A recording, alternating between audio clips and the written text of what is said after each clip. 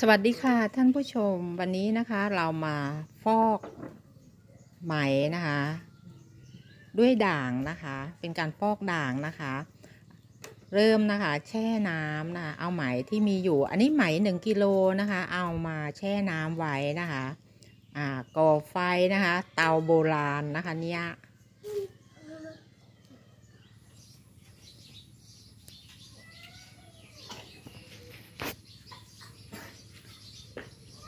ก่อไฟ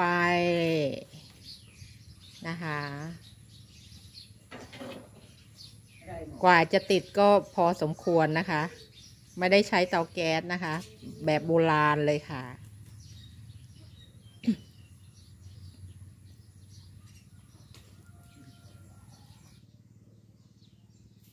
ไฟลุกแล้วก็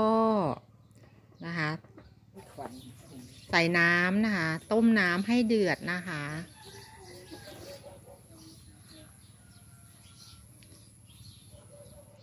น้ำเดือดแล้วนะคะ ใส่ด่างนะคะ ด่างฟอกไหมขาวนะคะ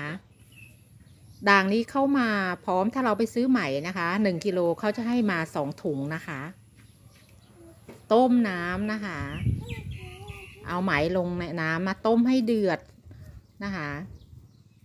ต้มนานจนไปจับไหมแล้วไม่ลื่นนะคะ ไม่ลื่นเพราะถ้าไม่ไม่ลื่นแสดงว่าฟอกได้แล้วนะคะ ก็ยกมาห้อยไว้นะคะ ให้น้ำน้ำไหลลงนะคะ ให้ให้เย็นนะคะ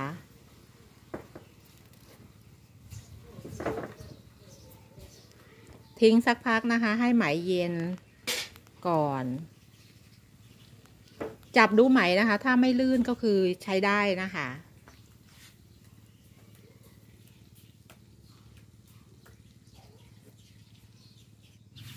เอามาล้างน้ำนะคะ น้ำเปล่าอีกสองรอบนะคะ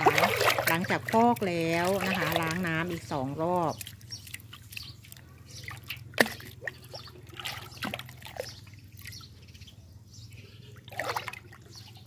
ก่อนล้างนะคะ บิดน้ำ ไหมให้ให้ให้น้ำด่างออกไปก่อนนะคะ แล้วเอามาล้างสองรอบนะคะ แล้วมาดึงนะคะไหมเพื่อให้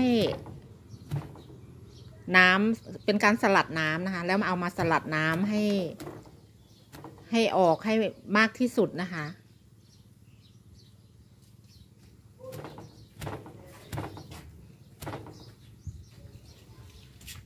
เสร็จแล้วเอามาตากนะคะ ตากจนกว่าไหมจะแห้ง เมื่อแห้งเสร็จแล้วก็นำมาเก็บเพื่อใช้ในการกวักไหมหรือขึ้นลำต่อไปนะคะ ขอบคุณที่ติดตามรับชมนะคะ